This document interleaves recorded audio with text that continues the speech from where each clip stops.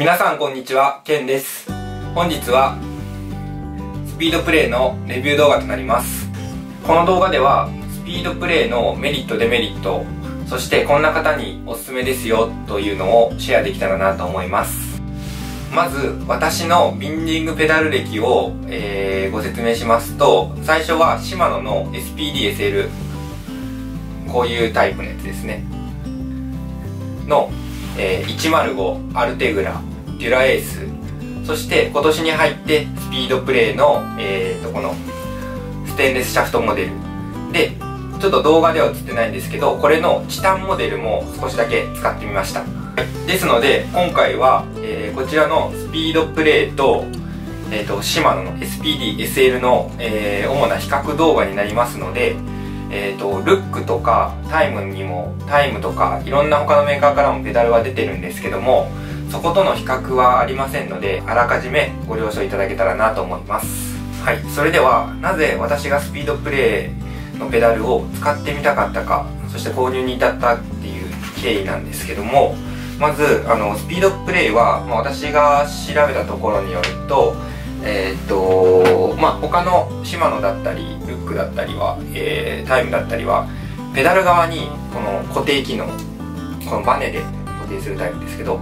えー固定記号機能があるのに対してスピードプレイは、えー逆ですね。こっちのシューズ側にここにここのあのーなんて言えばいいのシーリングって言えばいいかな。ここで固定する機能、まあ、要はシューズ側に固定する機能っていうのが全く逆のあの固定の機構だったのでどんなペダリングになるんだろうっていうのが気になってまして、えー購入してみたっていう感じですね。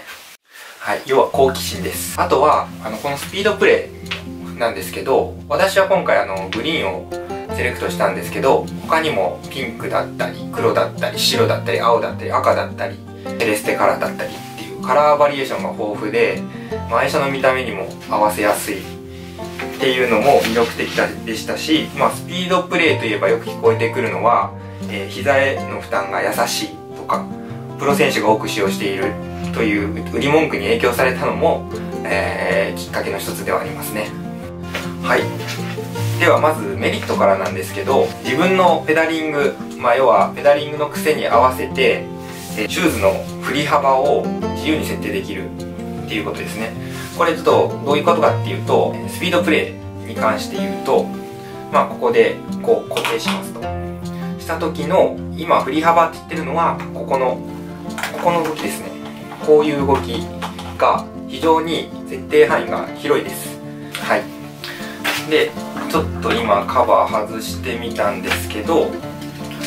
まあ、ここですね。ここのボルトを調整することによってその振り幅の調整ができます。えっ、とシマノの方でいくとはい。このクリートでもうその振り幅の角度っていうのが決まってましてこの黄色が一番振り幅が広い角度になるんですけど、まあ、その次がこの青。で青になるとまたその黄色い固定力が上がる。でその次が赤っていう風になります。なのでまあ振り幅が限られるっていう中で、まあ、スピードプレイはそういったこのボルトの調整だけで、えー、と振り幅が調整できます。まあビンディングペダルのですねまあ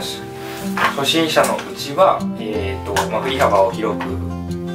したりですとか、まあ、上級者になればなるほど振り幅をあの、まあ、シマノの赤色のクリートのように、まあ、ほぼ振り幅なしに設定できたりとか、まあ、そういったことができるので非常に便利だなと思いました。2点目のメリットは、えー、とスピードプレイに変えてから、えーシマノより、えー着脱が楽になりました。理由としてはロードバイク乗りだったり自転車乗りでビンディングしてる方だったらよくわかるとよくあることだと思うんですけど例えば信号待ちで、まあ、左足のペダルを外します。で信号が青になったら発進します。っていう時にシマノの場合ですとよくあるのがえっ、と片面しか、まあ、ペダルをはめることができないので、まあ、それがたまたまこういう風に裏面になっていて一回はまらなくてでペダルを、ま、回してもう一回こう引っ掛けてカチャッとはめると。それに対してスピードプレーはのペダルは見てわかるように両面ともえっ、ー、とクリートをキャッチするあの機構となっておりましてペダルとクリートの仕組みを見てもらえばわかるんですけどこう真正面から軽い力で押すだけなんですね。こうパチンと。パチンと押すだけ。シマノのビンディングペダルの閉じ方としては一回ここの穴ここの穴とここですね。に引っ掛けてから思いっきし踏むと。踏むとあのバネの力でスッと。という感じですね。そういった意味でまあシマノは引っ掛けてクリートに固定するのに対してスピードプレーは、えーと、面でこう押してつけるだけなので、えーと、簡単にキャッチしてくれます。なんで一回あれはまらないぞ下って言って、まあ、ビンディングペダルを見たりっていうことも少なくなりますし、まあ、発進とか、まあ、レースのスタートとかも失敗することが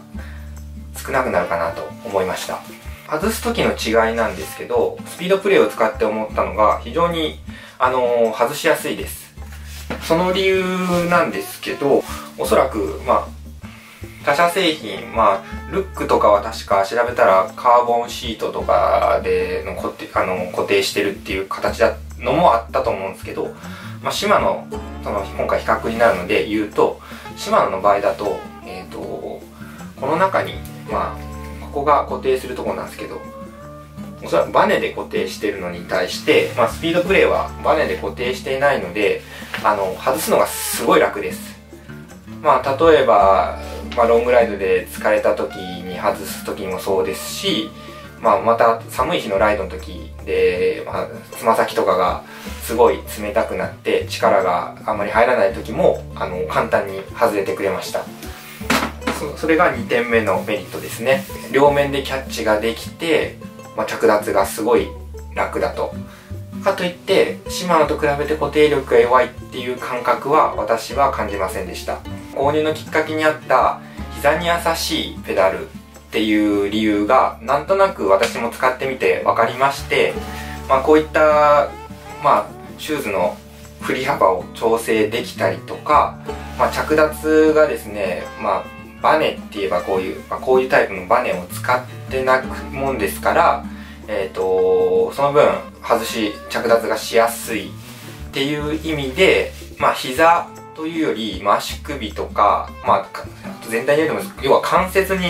優しいペダルだなって私は思いました。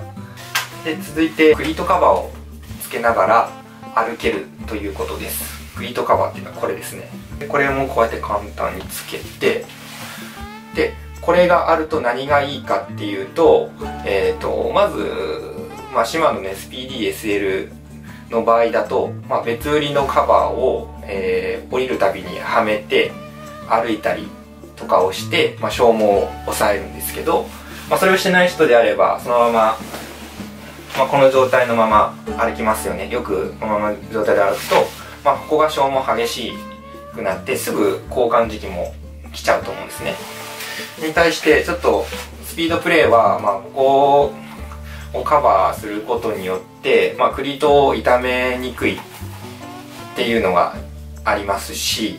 まあ、歩きやすさの比較をこっちとこっちでした時に、まあ、今取り付け動画っていうのもアップしたるアップしてるんですけど、まあ、その時に私述べてるんですけどこっちの方がこの面が大きいもんですから歩きやすいしこのゴム製なのかな？ゴムっすね。ゴム製のカバーなので滑りにくい。まあシマノはこっち樹脂なもんですからすごい滑る場面がありました。あとはまあこのシマノと比べてシマノはこのその今言ったようにここが消耗してくるとまあペダルとの、えー、環合性もちょっと落ちてしまうんですけどスピードプレーは今のとこあの、そういった削れることがないのではまり具合というかはめる時の力加減っていうのはあんまり変わらないかなと思います。あとはちょっと私はあんまり感じてはいないですけどもうそのこのカバー自体がエアロ効果を生むらしくてそういったメリットもあるそうです。続いてのメリットは、えーまあ、冒頭でも述べたんですけどカラーバリエーションが豊富ですね。でペダルもそうですしここのクリートも、えーと、いろんな色が選べますから、えーと、そこは愛車に合わせて選べるっていうのは非常にあのメリットじゃないかなと思いました。続いてデメリットなんですけどもまず一つ申し上げるとスピードプレーに関して言うとメンテがちょっと大変になります。まあ、私はあんまりメンテ大変だなとは感じてないんですけど、まあ、般的に言うとこのペダルですね。このペダルなんですけど、えー、と今こういう風にまだちょっと鈍い回転なのでいいんですけどこれが、まあ、要は空転する感じになるとここの中に入っているグリスが切れてるっていう状態になってるんですね。なので、あのー、ここにちょっと見えるかな。ネジがあるな。プラスドライバーを差し込むネジがあるんですけどここを外してグリスガンでグリスを入れる。そしてこのシャフトのとこから古いグリスを出すっていうことを、まあ、定期的にしなければいけません、まあ、ただそれもそんなに私自身は感じてはいないんですけど中には面倒な方もいるんじゃないかなと思い一応デメリットとして挙げました。またまあちょっとこれもそんなにあの毎回やるようなことじゃないんですけどスピードプレーのクリート部分っていうのは見てわかるようにちょっと単純な構造ではないんですね。なのでこれのまあ位置合わせだったりとかまあ、ボルトが緩んでないかとかだったりとかそういった特殊な構造なんでもしクリートを変える時っていうのはシマノと比べると、まあ、シマノはこの3本を外すだけなんですけどスピードプレーはここの4本のネジを外した後にさらに3本のネジを外すっていうことも必要になりますからあのー、ちょっとまあ交換する際は、えー、スピードプレーの方が、まあ、大変にはなります。はい、で続いてのデメリットなんですけど今ここで話しているこのクリートなんですけどこれどっかの部品が壊れるとここの部品を、まあ、ここのクリート全体をですね丸々変えなきゃいけなくてもう本当にクリートがめちゃくちゃ高いなっていう印象です。なんでこれから耐久性とかもちょっとあのいろいろ今走行ログとかも残してるのでこれから見ていきたいなと思います。続いてのデメリットなんですけど、あの新品時はあのクリートにペダルをはめるのが非常に硬かったです。取り付け動画まだ参照してほしいんですけど、あのそこは初期なじみが出るまでまあ100キロ程度外しれば自然と慣れてあのはめるのが楽になったんですけど初期なじみが出るまであのちょっと硬いと思いました。はい。最後にスピードプレーをおすすめしたい方っていうのは、えーと、もちろん今のビンディングペダルで関節が痛いとか痛くなるとか膝が痛くなるっていう人はまあ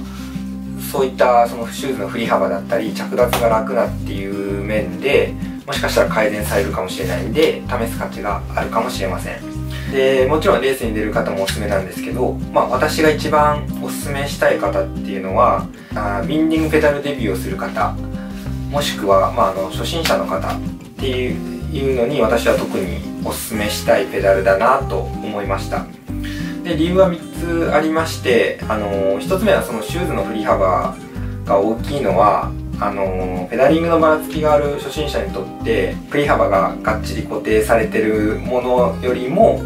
まあ、安心感があるかなと思いました。で最初は振り幅を大きくして慣れてきたら徐々に、まあ、ボルトを回して、まあ、調整していけるっていうのがいいなと思いました。で2つ目がペダルを外す力が少なく済むのでまあそれって立ちこけのリスクが少なくなるなと思いました。私自身シマノの SPDSL デビューした時に何回も立ちこけ経験してます。でその立ちこけした経験っていうのはまあ例えば山ヒルクライムしてる時に力尽きてスピードが落ちてしまってだけど足を使っちゃったからひねる力もなくてそのまま、えー、ペダルクリートがペダルについた状態のまま倒れてしまう。でもしくはまあ普通に信号で止、ま、信号前で止まる時に足首をうまくひねられなくてまあ立ちこけしてしまうっていう経験がありました。最初にはめる時はどのペダルでもコツはいると思うんですけど外すことに関しては非常に楽なペダルだなっていう印象です。で3つ目のおすすめしたい理由としては、えー、両面キャッチ式なので踏み面を探す必要がなくなるので、まあ、はめるたびに最初の初心者の方とかっていうのはペダルを確認すると思うんですね。はまはまるかな、まあ、向きとかを確認するっていうのが、まあ、シマノとは違ってそこが表裏っていうのがあの両面キャッチ式なのでおすすめです。でその今言った3つの理由から初心者の方に特におすすめしたいペダルだなと思いました。で余談なんですけどこれから私が、えーと、スピードプレイもしくはシマノの SPDSL どちらを使っていくかっていう話になるんですけど、まあ、今回興味があってスピードプレイを購入したんですけどおそらく、えーと、こっちのシマノの方にいずれは戻すと思います。まだしばらくはこっち使ってみようかなとあの今振り幅調整して遊んでたりしてあのやってるんですけどしばらくは使ってみますがいずれはこっちに戻そうかなと思ってます。で理由はまあ私はですねまあそんなちゃんとしたトレーニングとかしてるわけじゃないんですけどだいたい月に1000キロぐらいは、えー、去年で言うと走ってました。また春から夏にかけてはもっとですね1200とかから1500ぐらいは走ってるもんですから多分もうその消耗がスピードプレーだとスピードプレーでも消耗が激しくなって、まあ、クリートを交換していくってなるとそのコストパフォーマンスが非常に、まあ、悪いって言い方も変ですけど、えーまあ、コストが高いんでクリートの、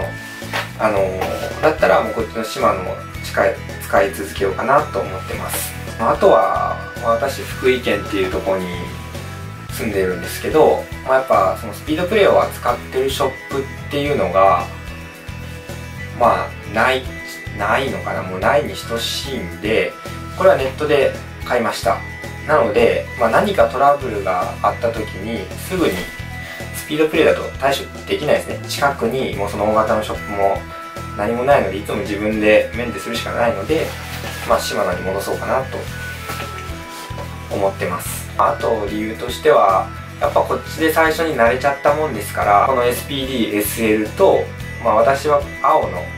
クリートっていう組み合わせその振り幅が一番しっくりきてます今のところ。はい以上となります。この動画がいいなと思ったら、えー、高評価とチャンネル登録ぜひよろしくお願いします。ご視聴ありがとうございました。